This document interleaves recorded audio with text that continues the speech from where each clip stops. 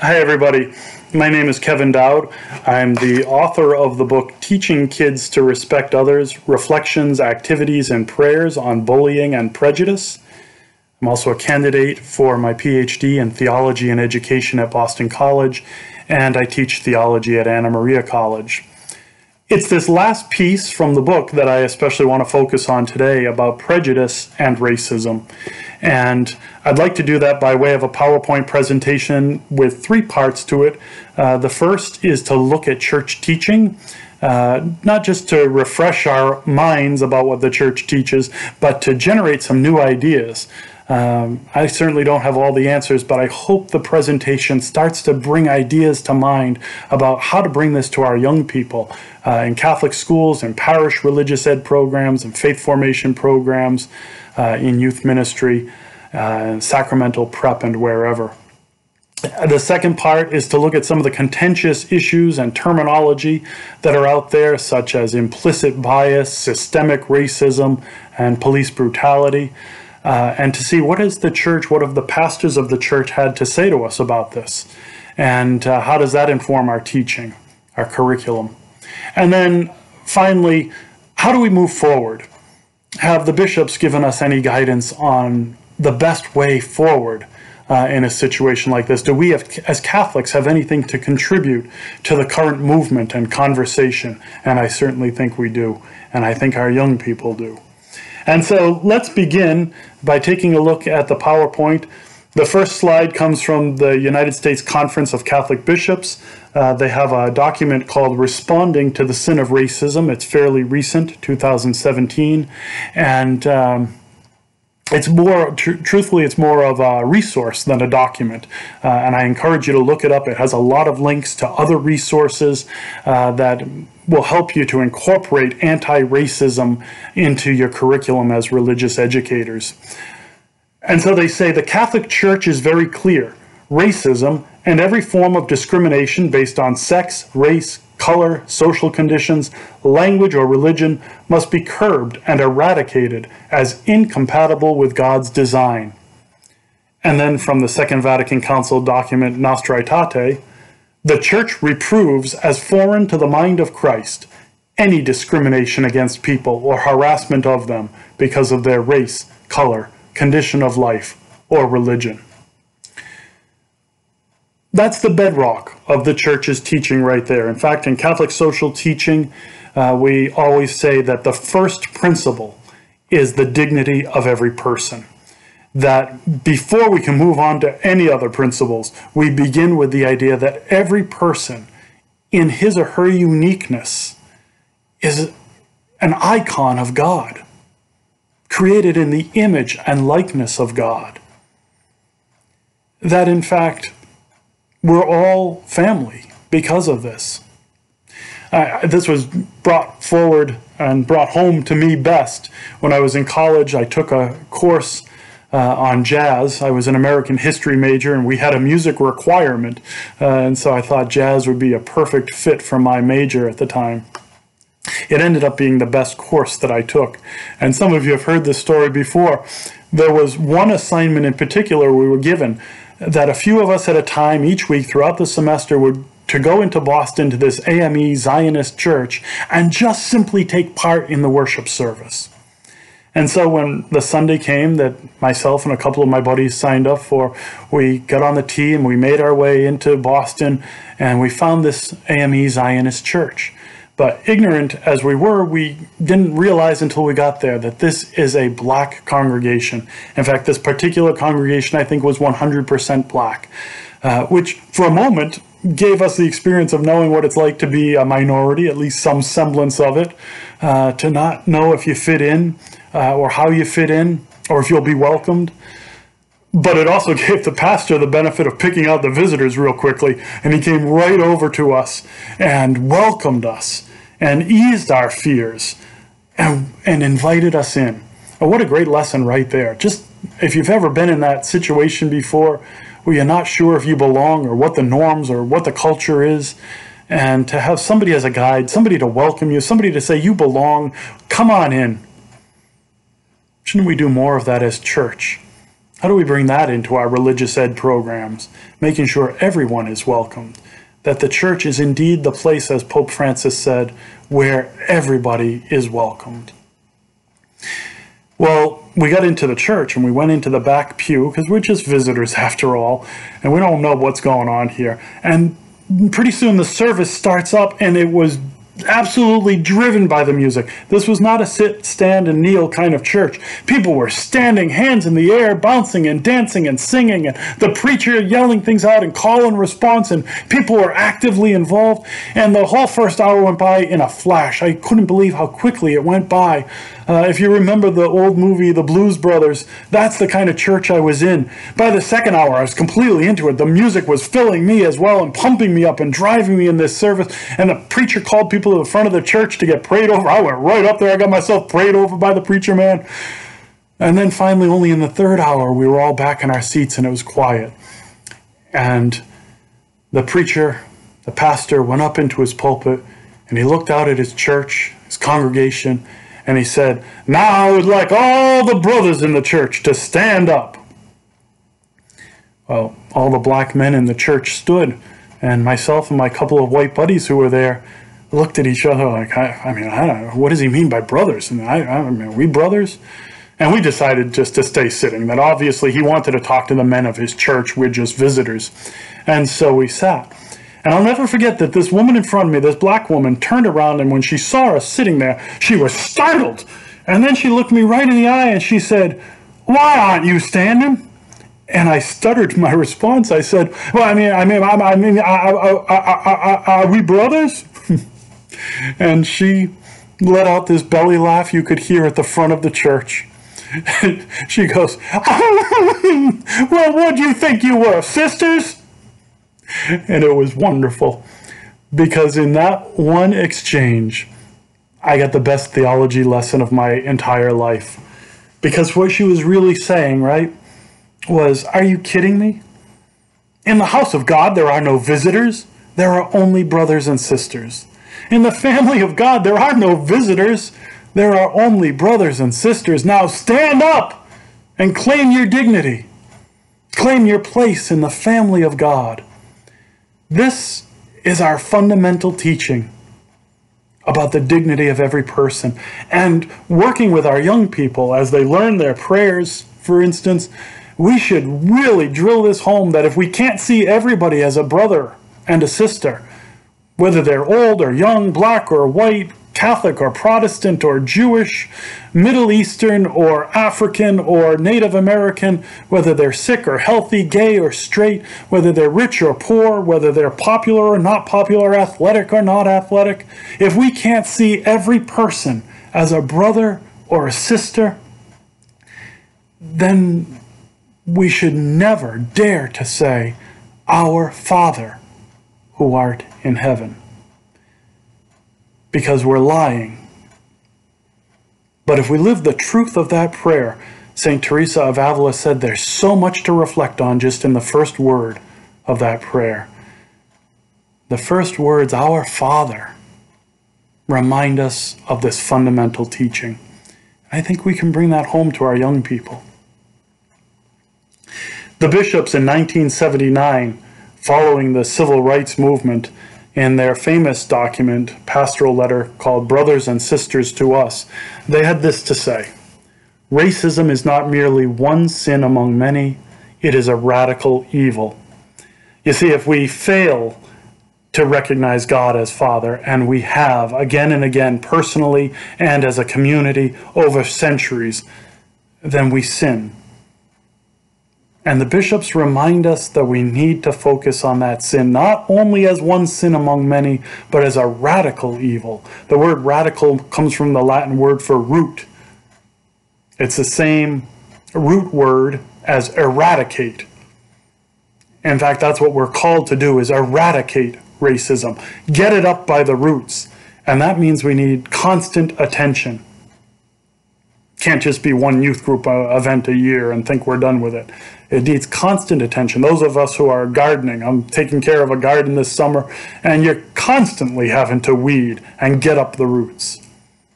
The bishops remind us of that. Racism is not merely one sin among many, It is a radical evil. It needs to be eradicated because it's the root of so much other sin and evil in the world. This makes real sense to our young people, by the way, when we teach this, when we make this explicit in our teaching, not just generically saying we're all created in the image and likeness of God, but applying it now to this issue of racism. It reminds them that this church, this faith is attractive because the truth itself is attractive, because Jesus, who is the truth, is attractive. St. Augustine said, The truth is like a lion. Let it go and it will defend itself. We don't need a whole lot of apologetics for this. Just teach the truth of the faith, and it's attractive. Racism, the bishops more currently say, is an inner demon. This inner demon infects our soul as a nation and attacks each of us individually. It is ugly, it is real, and it is sinful.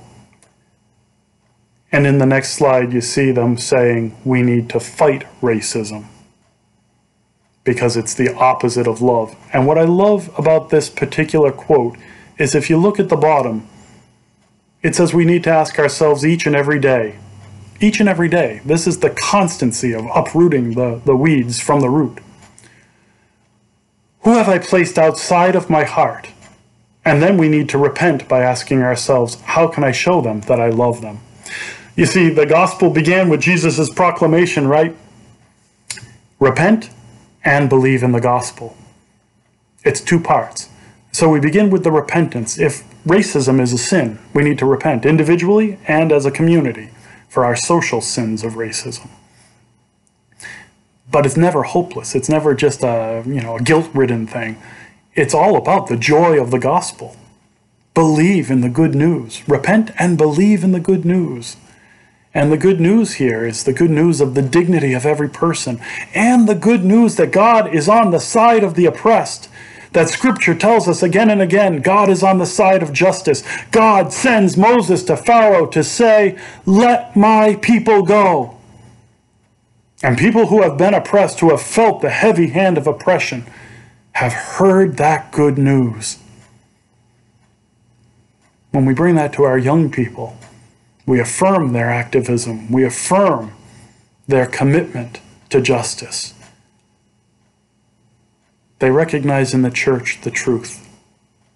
They recognize that Christ indeed is the truth. We can bring this home in a number of different ways. In the book that I wrote, I suggest, uh, for instance, working on an examination of conscience. When we talk about sin, normally we do an examination of conscience, we prepare for confession. How do we do that around racism? Do our current examinations of conscience deal with racism? Do we ask questions like, have I treated somebody differently because of the color of their skin? Have I bullied somebody because of their race? Have I been unfair to somebody because they spoke differently or looked different? The more specific questions like that that we put into an examination of conscience, the more we're also preparing our youngest uh, learners to recognize racism is a sin. Not just a bad thing, but a sin, a radical evil. And so we bring it into our sacramental life in that way. By sharing the story of Moses and the liberating story of God standing up against slavery and helping them to see how much that meant, for instance, to black Americans who were enslaved. That story, in fact, we have people like Harriet Tubman called Moses because of that story. There's a great resonance. When we teach them that stories like that and the gospel message were behind the civil rights movement, that oftentimes doesn't get taught in school. The religious aspect is lost. We have a chance to highlight it, to say it's people who believed in the gospel message who led the way. Because our God is on the side of the oppressed. And so we have to be on the side of the oppressed. We have a place in the story. Another activity that I suggest with young people to highlight the dignity of every person is to build the mountain of God from Isaiah to God's holy mountain. Uh, a nice project to build a mountain and to have people from all the countries streaming to it. And so the figures of all different skin colors and carrying flags of different nations together with their animals and make it a fun project showing that God is truly the God of all, our Father. The universality of salvation. What Catholic means, after all.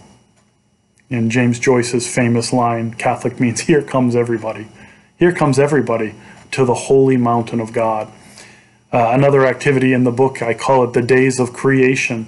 Uh, and you set up your classroom with helium balloons, and each balloon has a represents some part of creation, from dogs and rabbits to every kind of person on the planet, old and young, every different race, every different language, and the caption for the entire uh, classroom of art is God said it is very good.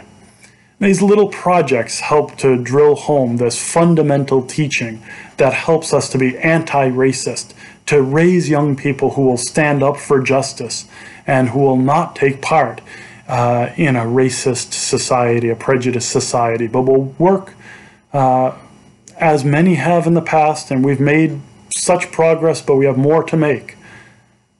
And the torch is passed, as John F. Kennedy said, to a new generation.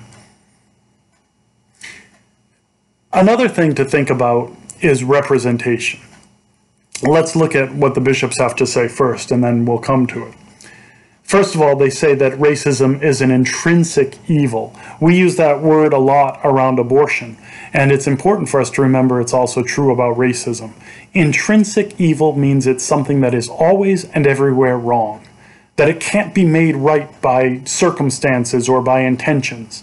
It's just always and everywhere wrong by its own nature. Racism is one of those things. And they say to us, finally, this is from their most recent document, actually in 2018, uh, a pastoral letter against racism, Open Wide Our Hearts. They say, finally, too often racism comes in the form of the sin of omission, when individuals, communities, and even churches remain silent and fail to act against racial injustice when it is encountered. The sin of silence, of being a bystander to the bullying, of not speaking out or not doing anything when there is systemic evil, when there is injustice. And we have to find our voice, uh, but that takes courage. In my book, I suggest courage multipliers to help our young people to find a voice and to be courageous, to not be bystanders. St. Catherine of Siena said, We've had enough of people telling us to be quiet, to be silent. We need to speak out because there's so much corruption, so much is rotten because of people being silent. Uh, and she's right, isn't she? There's a particular aspect of the sin of omission that relates to our classrooms, I think, too. And that's where I come back to representation. Just look at my little prayer setting here. It's comfortable, it's a beautiful setup, I think. Uh, it's my mother's, uh, actually, and I, I find it really uh, peaceful and conducive to prayer. The problem with it, from a more critical lens, is that it's also very white. I mean, this is typical of Western European and American religious Christian art. Uh, we have a very white Virgin Mary, a very white Jesus. We make the angels white. We make God an old white man with a with a beard. And there's nothing wrong with that unless it becomes an idol. And it becomes an idol if we flip the scripture on its head we are created in the image and likeness of God. We should not create God in our image and likeness. The mystery of God is conducive to every race and every culture, to inculturation, to having uh, wonderful Asian representations of the Virgin Mary and wonderful uh, African representations and Hispanic representations of Christ and the saints and the angels and God. Together with the historical reality that they were Middle Eastern people, Mary and the apostles, Jesus himself were Middle Eastern Jewish people. And we should always highlight the historic reality without also limiting ourselves to that. Uh, after all, the message is Catholic, it's universal, it's conducive to the diversity of cultures. And so, this prayer setting that's wonderful for me here, I wouldn't use in a classroom. I would want representation, maybe a Black Madonna image, uh, a collection of saints that are not only our white saints, but our African saints and our Asian saints, our Native American saints. Images of God that are not, as one of my professors calls it, two men and a bird, but instead represents the real mystery of God that can't be captured by any particular color or gender. Uh, we should really work on expanding the representation uh, in our classroom, I think, lest we commit the sin of omission, uh, where people, where we're not speaking up implicitly by the way we set up our classroom. Uh, William Zdinak's famous uh, painting, In His Image, is wonderful. Remember that one? Uh, the painting of Christ, where if you get up close to it and look, you see it's made up of many faces, some famous like Gandhi and uh, Robert uh, F. Kennedy, uh, Pope Paul VI, I think, is there. But when you step back, all of the faces of many different races and religions and colors blend together to form the image of Christ. It's a wonderful artistic representation of Paul's teaching in Scripture that we are all one body in Christ. The more we can do that in our classrooms, I think the more we're communicating something important about the Catholic faith. So, moving beyond this, we come to the idea that anti racism is pro life. I think this is important Cardinal Bernardin of Chicago taught us that we should follow a consistent ethic of life. He called it the seamless garment approach. That every life, because of the first teaching we just saw, the dignity of every human being, therefore, every life from womb to natural death maintains and retains that dignity. And so, our whole church is pro life. Everything we do is pro life. God Himself is pro life. We mean pro life in an expansive sense of not only anti abortion, which is important, we shouldn't lose that, but also of defending life at every stage. And so if life is threatened because of racism and discrimination, we have to speak up. How do we do that with our young people? We have a lot of prayer services and memorials for unborn children. We take trips to Washington, D.C. for the March for Life. Uh, do we incorporate the same kind of things about racial justice? Do we incorporate racial justice into our prayer services, uh, into our service projects, uh, into our catechetical units, and into our field trips uh, and our activism? I think we should. And we should be intentional about it. Uh, there's many other ways besides racism that being pro-life is is certainly anti being anti-poverty, working against homelessness, um, working against anti-Semitism and Islamophobia. There's a lot of important parts of being pro-life. It's all integrated together. I'm only focusing right now, in particular, on the the question of racism because it's a question that's being raised so um, so importantly in our culture and in our world right now. The bishops say societal realities indicate a need for further catechesis. We have to bring it to our catechesis to facilitate conversion, repent, and believe in the gospel, the conversion of hearts. Too many good and faithful Catholics remain unaware of the connection between institutional racism and the continued erosion of the sanctity of life.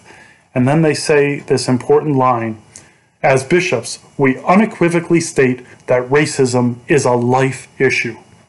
We shouldn't break into camps that there's pro life Catholics and there's social justice Catholics. That's nonsense. We're all pro life Catholics. And if we're pro life, of course we're social justice Catholics. God is on the side of the oppressed. Let my people go.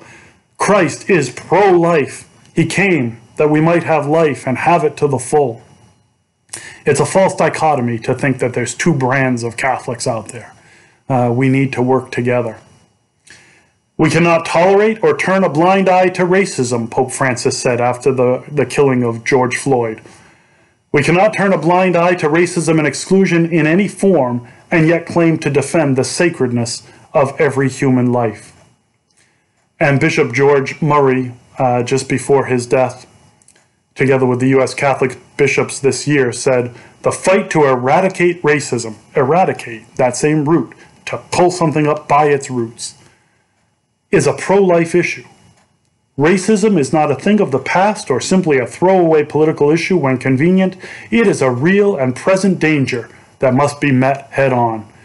And so the U.S. Catholic bishops say unequivocally racism is a pro life issue.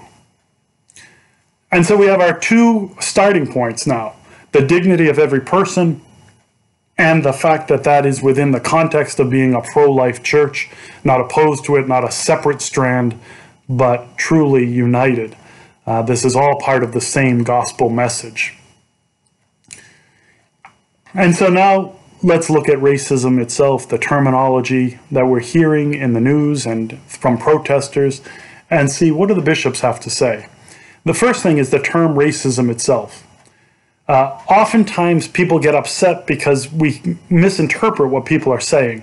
When they say racism, a lot of us think um, a bigot, bigotry or personal prejudice. And yet, the term is has a lot of different meanings, and the one that's most frequently being used right now is defined as racism equals prejudice plus power. Uh, this is why you'll hear a lot of activists say there's no such thing as reverse racism. As a white person, I can have somebody from a, a, another race show bigotry towards me, be prejudiced against me, but because they don't have the same power in society that white people have, it's not truly racism by this definition. That's an important distinction. Uh, a lot of times when sociologists are talking about racism, they mean this kind of racism, where personal prejudice gets combined with power to do evil. And so Sister Patricia Chappell, uh, the executive director of Pax Christi USA, defines racism as, quote, personal racial prejudice plus the misuse of power by systems and institutions. And that's important to keep in mind, that distinction. I think it's helpful. Another term we hear a lot about is implicit bias, and the bishops affirm that this exists, and I'm pretty confident myself. If you want to read something about it, uh, you can read Blind Spot is the name of the book by the researchers who have done so much about this concept of implicit bias. The bishops say racism is an inner demon. We are all infected with this inner demon. And they go on to talk about how it's put there no, uh, unwillingly or unknowingly by our upbringing and culture. When you live in a culture that has made black people the villains in movies and TV shows where uh, news uh, reports often show us black people at their worst moments. Uh, all of a sudden, maybe not consciously, but subconsciously, as a white person, I start to develop an implicit bias, an understanding that black is dangerous, that black people are more susceptible to criminal behavior. I might not even believe that consciously. I'm consciously trying to be uh, against racism, but this implicit bias is present. Implicit bias, by the way, is a good thing. It's a natural thing, at least, and can be good. It can be bad. Uh, it's natural. It's think of it this way: um, there are many situations that we run into where we don't have time for a well thought out response. We need a quick response.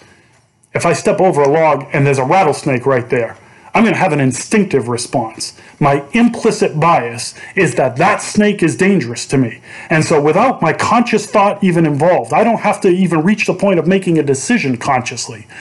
Already, my implicit bias informs a natural reaction to jump back or to freeze or to fight, whatever it might be. Well, in the case of the snake, maybe that's a good thing. But in the case of an implicit bias against somebody because they're black, that could be deadly. That's what we're talking about with police brutality, for example. Um, what if a police officer has to make a split second decision and it never reaches the point of conscious thought? That police officer who is not racist might nonetheless, like all of us, have been formed in a culture that gave us an implicit bias I worked for a while as a corrections officer. That was my summer job in college, in fact. I worked in a prison where most of the prisoners, uh, because of some systemic problems with criminal justice in our society, were black and Hispanic. Did I develop an implicit bias to think that black and Hispanic people are more criminal than others, maybe more dangerous? It's very likely I did. Here's the good news we are not. Um, helpless against implicit bias. We can do something about it. And I like to use the example of uh, the crocodile hunter. You know, an implicit bias should say you should not, you should run the other way from a crocodile. Shouldn't be being the crocodile hunter. But he trained himself. Many people do this around other natural fears, things that you or I might have an implicit bias. They've eliminated that implicit bias uh, largely in order to do something, you know, conservation work in Steve Irwin's case as the crocodile hunter. It's just a simple example to say we can retrain our minds. We can work on, as long as we admit that they're there and we're willing to find them, and that's a lifetime of pulling the roots up, then we can eradicate them or certainly work towards it and give ourselves a fighting chance that if we're in a situation uh, that requires quick thinking that's subconscious, our subconscious mind will align with our conscious desire to not be racist. Another term that we see, it's important for us to make sense of, uh, is systemic racism itself. I don't. I have this slide coming up in a moment, um, but systemic racism means not just the personal prejudices now, but how individual personal prejudices over time, over centuries, built up a society whose structures were formed according to those prejudices and biases. And now those systems are affected by it. Even with good people who don't want to be racist being involved in those systems. Everything from the education system to the criminal justice system, uh, housing and finance, uh, to healthcare we have systems that have been affected by a history of racism. We stand, unfortunately, on the shoulders of ancestors who were white supremacists. And as a white person, I don't have to feel guilt for what somebody else did in the past. But I do have to claim responsibility to say, I'm going to be part of the eradicating of what they did because what they did was wrong. And that's our commitment to social justice. That's our commitment to eliminating systemic racism. The church has to look at itself too, and that's this next slide. Uh, the bishops here in the U.S. say, to our shame, Christians have been part of the problem. So, as Christians, we need to be part of the solution. I think that's exactly right. Um, the next slide will drive this home. The truth is that the sons and daughters of the Catholic Church have been complicit in the evil of racism. In his papal bull Dum Diversas in 1452, Nicholas V granted apostolic permission for the kings of Spain and Portugal to buy and sell Africans, setting the stage for the slave trade. Uh, in fact, he, as long as they weren't Christian, you could enslave somebody, according to this pope. Even though subsequent popes strongly renounced and rejected the international slave trade, much to our shame, many American religious leaders, including Catholic bishops, failed to formally oppose slavery. Some even owned slaves. All too often, leaders of the church have remained silent about the horrific violence and other racial injustices perpetuated against African Americans and others. Uh, if you want two books to explore this further for your own sake, uh, I think the book, um, the book, The Sin of White Supremacy, uh, is really helpful. She talks about the issue not only of uh, of white supremacy throughout history, but how it combined with Christianity and warped Christianity.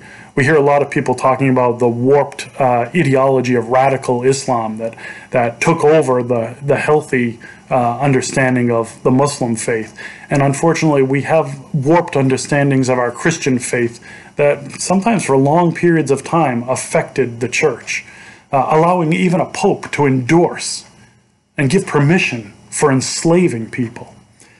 And another book that I think is helpful and we should probably all read is The Cross and the Lynching Tree by James Cone, which is a challenge from a black author who's recently passed away, a black theologian, uh, to white uh, theologians and religious people to consider the importance um, of the oppression of black people in history and to know that history, which sometimes we elide over and don't know as well as our black brothers and sisters do.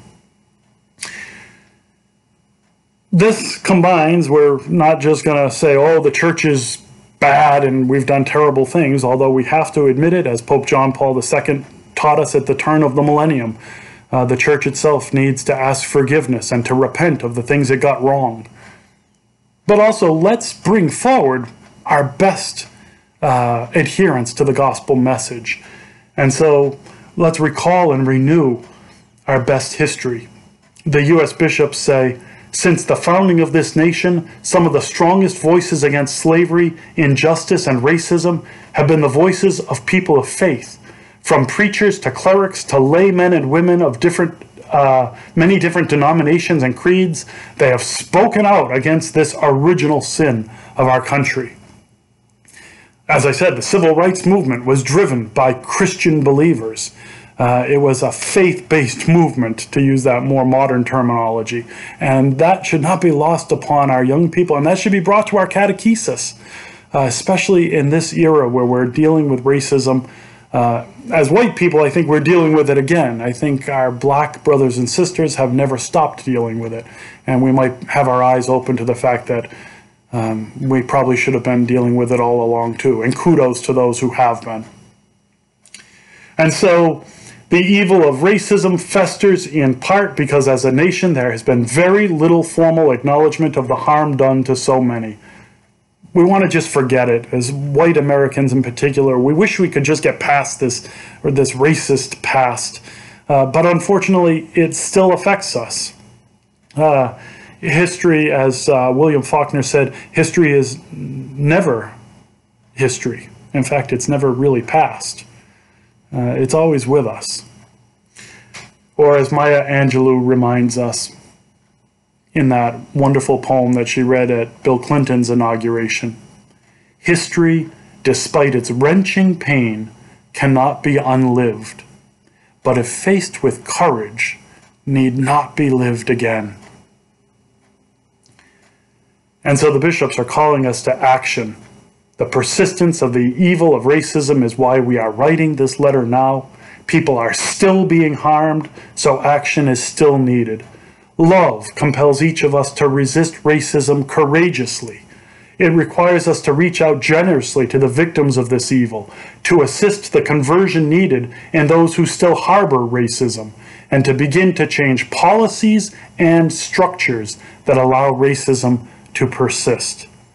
See, we're getting to that systemic and structural evil, the structures that were built by our racist past and are still affecting us.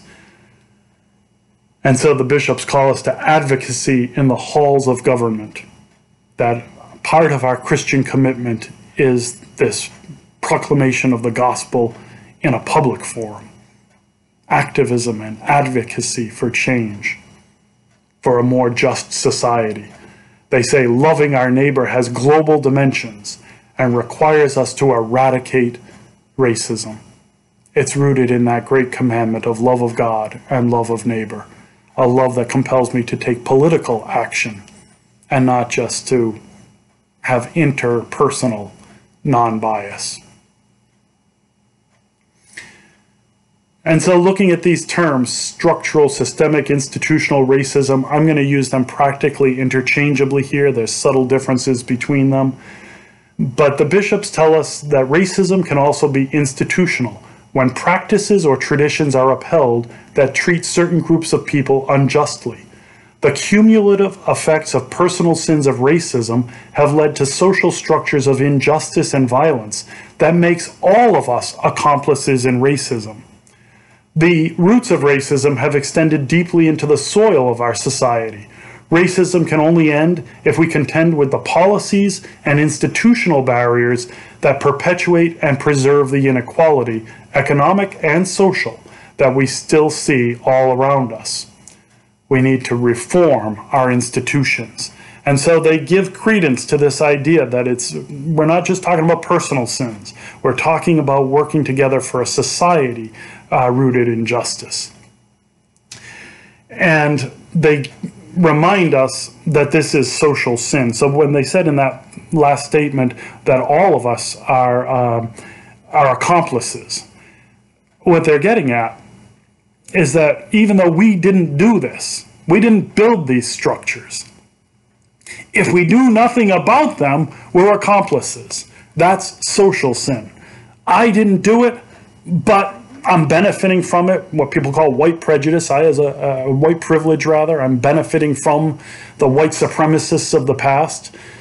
That leaves a responsibility on me to eradicate what they did. A gospel responsibility, because I'm doing it out of love, not for political reasons, but out of a commitment to the God who is on the side of the oppressed. Let my people go. Break down those idols, destroy them. The false idols that put one race above another, that advantage one race above another. And so the bishops say, Today in our country, men, women, and children are being denied opportunities for full participation and advancement in our society because of their race. There'll always be exceptions. Of course, we have great athletes that have gone far, and we have a president, a black uh, president, uh, most recently. Uh, we shouldn't look at the exceptions, though, to deny that there's an institutional problem. We should recognize the exceptions were exceptional, but we still have work to do. We should see the progress. There's definite progress to say that we have had a black president. Don't deny the progress, but don't think we're done with the work either. The educational, legal, and financial systems, along with other structures and sectors of our society, impede people's progress and narrow their access because they are black, Hispanic, Native American, or Asian. What does that even mean? Well, I mean, in the past we had redlining, housing rules that made the suburbs white and would not let black people move there. Uh, we had a lack of investment in inner city uh, the inner cities where a lot of black people had moved. And as white flight took place into the suburbs, now you're left with a disenfranchised and economically disadvantaged uh, black population. That's in the past, but it still lingers to this day. The effects of that, we still see the segregation. Uh, and then we see it in the education system because it has an impact, right? Uh, we say education is the great equalizer. You can get yourself out of poverty through education. But then we base our education system on the local property tax fundamentally. And so that suburb where most of the white people went and black people were redlined out of for so long, where a lot of the wealth went, can afford better education systems, can afford better schools, better facilities, after school programs, tutors, athletic facilities, and coaches and teachers and AP programs and the inner city schools struggle. Just read Jonathan Kozol, Amazing, uh, Amazing Grace. And you see the discrepancies and the injustice. And so, can we fix the schools at least if we say education is a great equalizer? This is what we mean by social sin. I didn't cause that problem.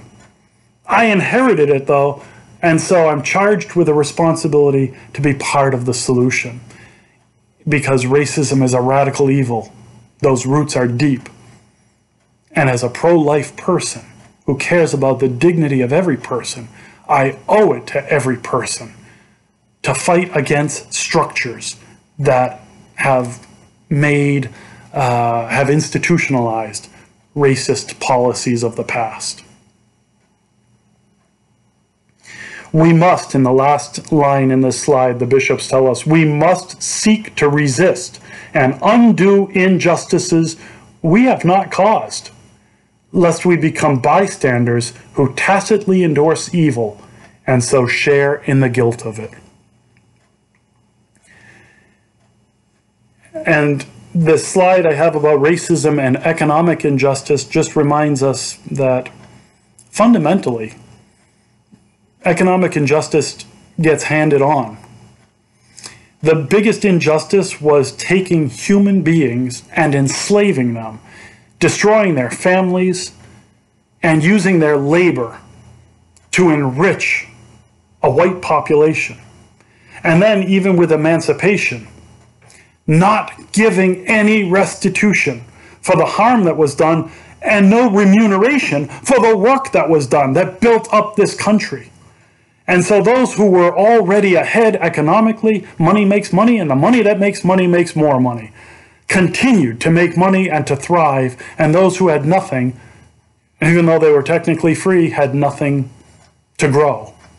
Much harder to catch up, to get ahead. Some did, but much harder. And then increasingly hard once the era of Reconstruction ended and the age of Jim Crow lynchings, over 4,000 lynchings.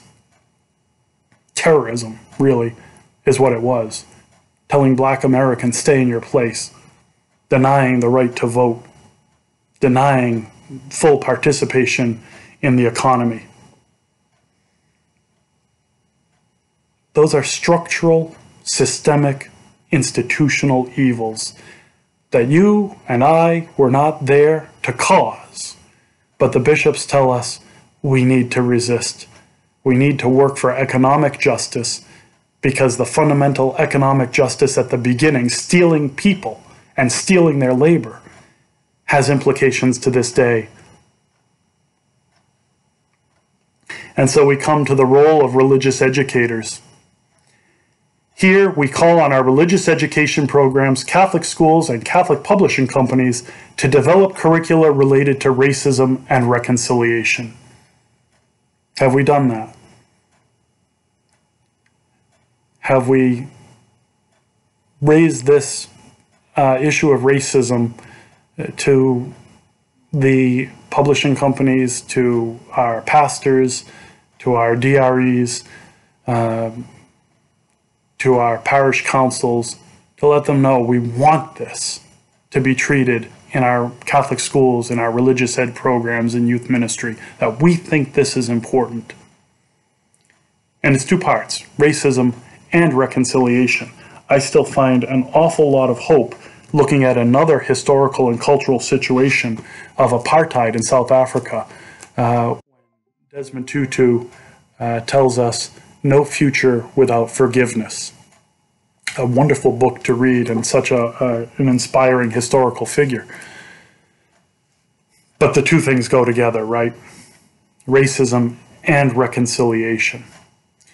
We can also learn from the example of those young people who rise above racist attitudes and model respect. I think they're leading the way. And so our programs are not about just delivering some content to our young people, but truly a dialogue, learning from them and letting them educate us in many cases. Uh, they're so savvy, for instance, with social media and how to advance a cause. Let's learn from them and make that cause the cause of the gospel. Uh, children, it reminds us, are, are not naturally racist. And the bishops also remind us that teaching respect for the dignity of every human person is critical uh, for combating racism. And so we're back to the start, that fundamental precept. And so, moving forward, then, the bishops give us this wonderful diagram. Many of you have seen it about the two feet of Catholic um, social teaching are the two feet of advancing forward on the road of charity and love. And one foot is social justice, where we remove the root causes and improve structures in society, whereas the other one is charitable works. We meet the basic needs of individuals. And the, um, the contention of the Catholic Church is it's both and. We can't move forward on the gospel way unless we're doing both. We need the works of justice to fix the structures. We need the works of charity to meet the immediate demands, the immediate needs. Converting this uh, same thought to the particular problem of racism, we might say that one foot is love in its personal form. That's overcoming prejudice. That's overcoming um, bigotry. That's supporting our black uh, neighbors in their businesses. But then the other foot is love in its public form. Uh, Dr. Cornel West famously said, Never forget that justice is what love looks like in public. That the greatest commandment is love. What does it look like interpersonally? It looks like love, it looks like charity. But what does it look like publicly when we're engaged in the big structures of society? The economic system, the educational system, the political system, the criminal justice system. It looks like justice. Working for justice is an act of love. And so teaching is part of that. Activism uh, for just public policies, supporting organizations uh, that are working for racial justice, uh, and electing officials who are committed to racial justice. All of this is on that foot, but we need both feet to move forward on the way of the gospel.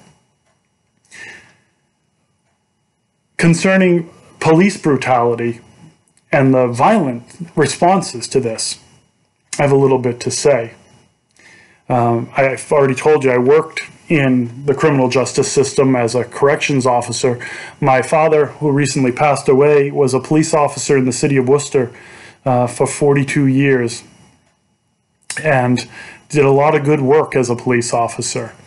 In fact, a lot of my commitment against racism comes from my father's example uh, of recognizing the dignity of every person. Six of my brothers, there are eight sons that my parents had, six of them are police officers in the same department as my father was. Uh, my oldest brother is in computer science, and then I'm doing my teaching thing.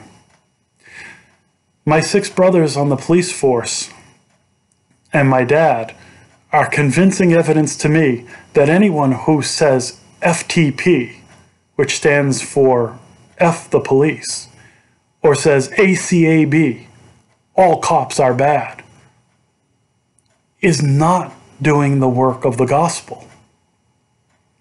Those are not true statements. Most police go into police work because they care about the community, because they want to protect and to serve. Most cops never want to ever pull the trigger on their weapon. Most are not bigots and yet they're courageously in a system that has been bigoted in the past. I mean, the police were the ones who enforced fugitive slave laws. The police were the ones who looked the other way during lynchings and sometimes took part in them. They were very public spectacles at times. It was the police who were uh, turning hoses and dogs and batons uh, against civil rights protesters. And so, unfortunately, police work has a long history that was um, racist. And so, good police officers, most of them, in other words, are getting into a field where they're contending with that history and they're working hard to overcome the institutional problems. We should support them in that effort. We should support them and support those who are against police brutality. That's true too. Nobody can look at the killing of George Floyd and think that was a good thing. We should be uh, using our voices to stand up against that, to demand reform, to demand that any police who are racist are gone and not hired in the first place, improvements in training and whatnot. Of course, we should demand that. But that shouldn't turn us against police. I remember as a kid what it was like to worry about my father's safety. I remember when my dad wouldn't come home for dinner on time or at the end of his shift on time, how worried my mother would be that something might have happened. And that, of course, transfers to the kids. You worry for your father. I remember there was a gang member who had a hit out on my father. His to be inducted into the gang, he was told to kill my father. I remember what it's like to have a police car guarding the house because of death threats against my father. I remember the fear of my dad going to a riot And so that can't be dismissed without dehumanization. And dehumanization, whether it's against black people or any other part of our population or against our police, is evil. Dehumanization in history has never led to anything good and is the root of massacres and genocides. And so that comes into our teaching as well. Our response, the bishops, I think, say this well in 2018. Despite the great blessings of liberty that this country offers, we must admit the plain truth that for many of our fellow citizens, especially our black citizens, who have done nothing wrong, interactions with the police are often fraught with fear and even danger. At the same time, we reject harsh rhetoric that belittles and dehumanizes law enforcement personnel who labor to keep our communities safe.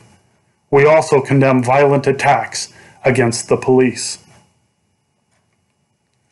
And so, what's the answer?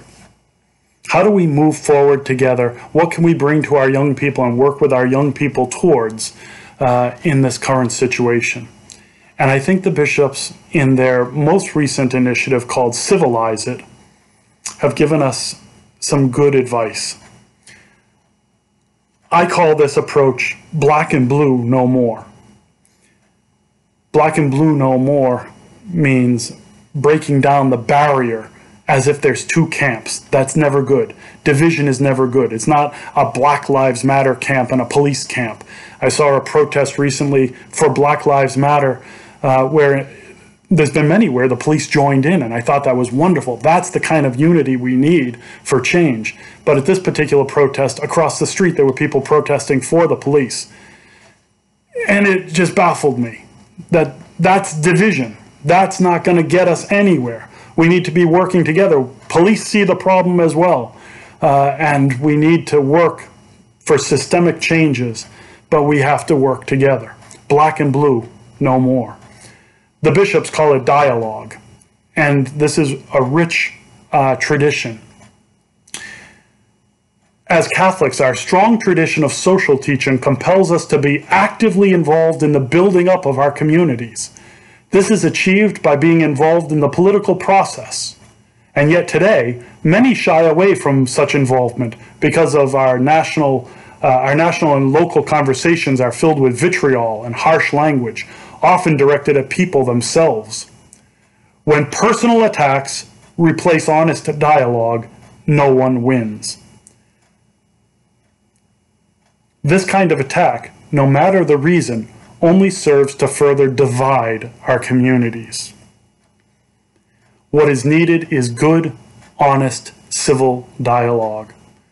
This means that we must treat everyone as worthy of being at the table, the dignity of every person worthy of our respect, and worthy of being heard. In short, it means treating everyone as our neighbor. You see, they root this in the parable of the Good Samaritan.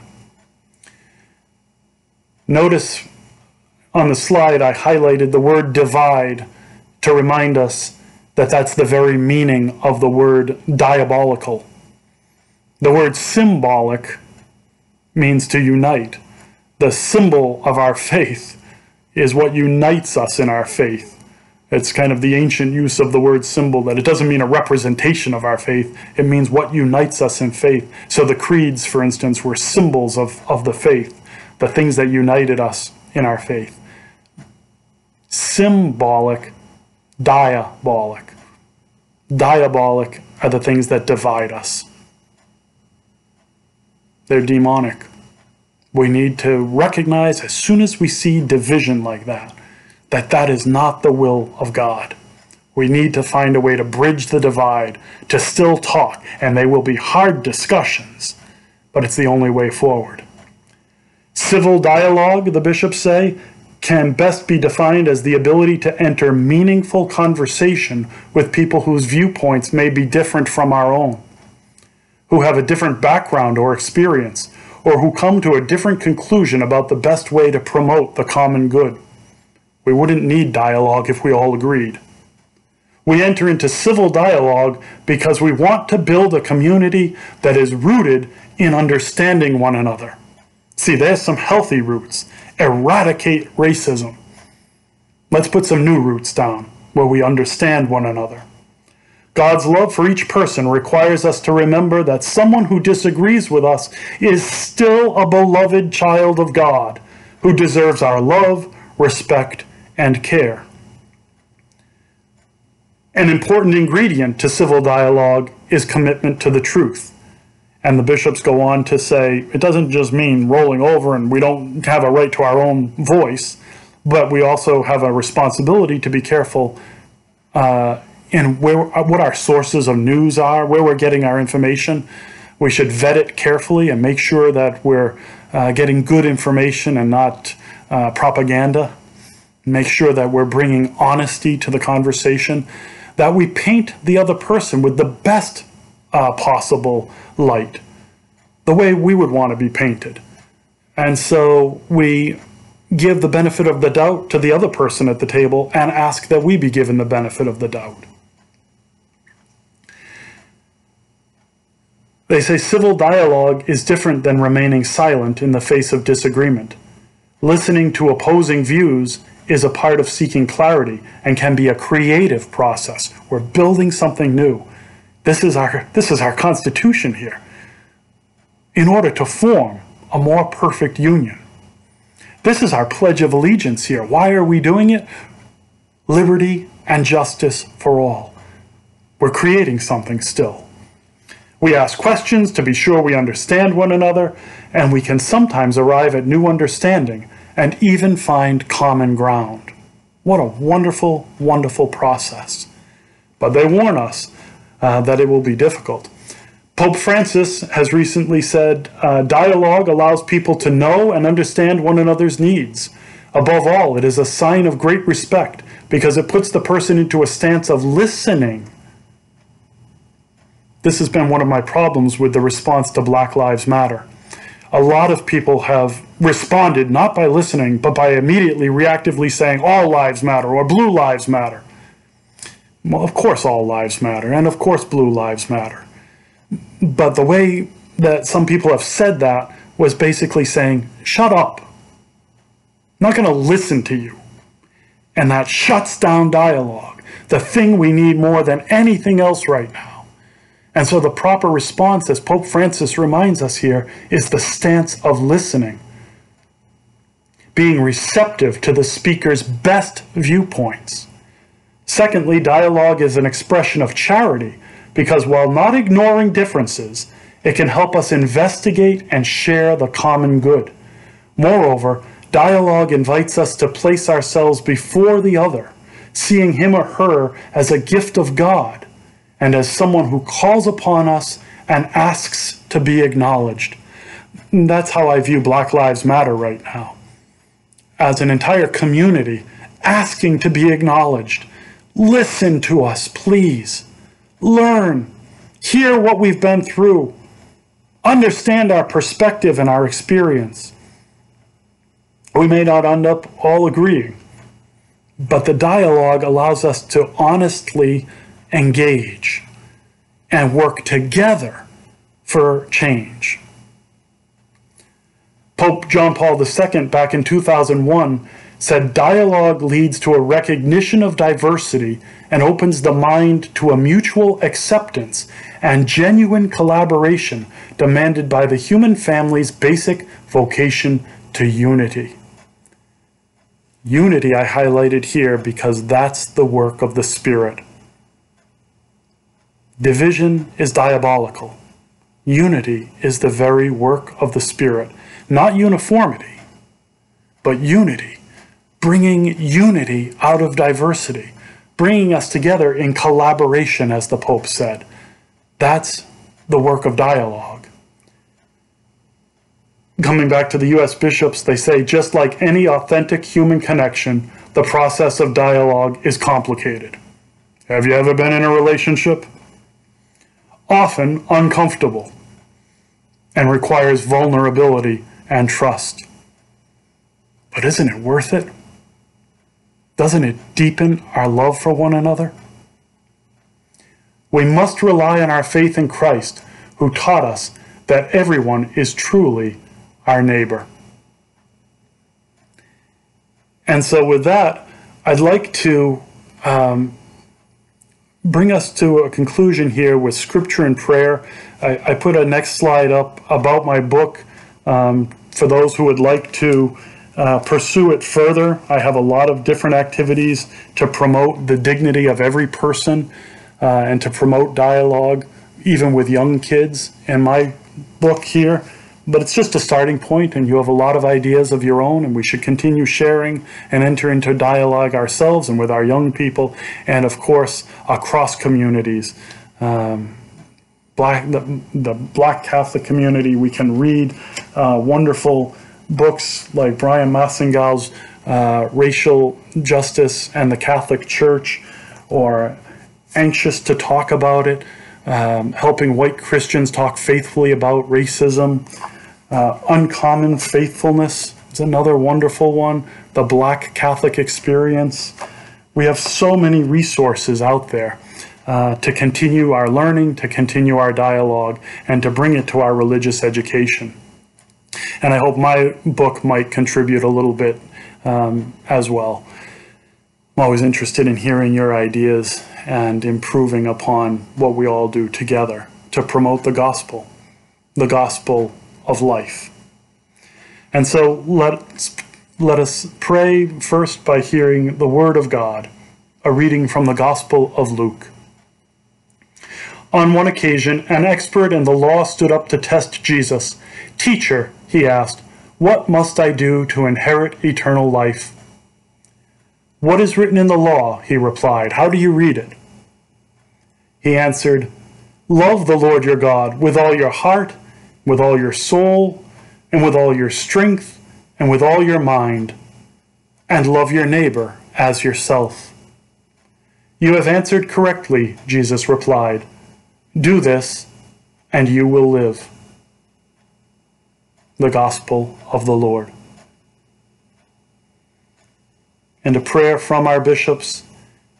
May Jesus Christ, who conquered sin and death, help us build a culture of life where everyone is cherished. Amen. And then finally, let's pray together an Our Father and a Hail Mary, remembering that this is the prayer, the Our Father, that reminds us that we really are one family, brothers and sisters, and gives us a mission to live that out so that God's kingdom will indeed come.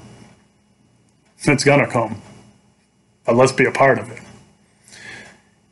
And then a Hail Mary to ask us, to help us, to ask her intercession as the mother of all peoples, to help us to truly embrace everyone as brother and sister. Light her face up a little bit here for you. In the name of the Father, and of the Son, and of the Holy Spirit. Amen. Our Father, who art in heaven, hallowed be thy name. Thy kingdom come, thy will be done, on earth as it is in heaven. Give us this day our daily bread, and forgive us our trespasses, as we forgive those who trespass against us. And lead us not into temptation, but deliver us from evil. Amen. Hail Mary, full of grace, the Lord is with thee. Blessed art thou amongst women, and blessed is the fruit of thy womb, Jesus. Holy Mary, Mother of God, pray for us sinners, now and at the hour of our death. Amen. In the name of the Father, and of the Son, and of the Holy Spirit. Amen. Thank you, everyone, for joining me for this hour and 10 minutes that I thought would be a half hour. Uh, I guess I had more to say, and I look forward to our dialogue about these issues as we as Catholics and we as educators uh, join together uh, to be part of the solution. I apologize uh, if I spoke wrong about anything here. Please give me the benefit of the doubt too as I continue to learn. And together, uh, Catholics and non Catholics, black and white, Hispanic, Native American, uh, Middle Eastern, all of us together. Let's walk forward as brothers and sisters. Thank you.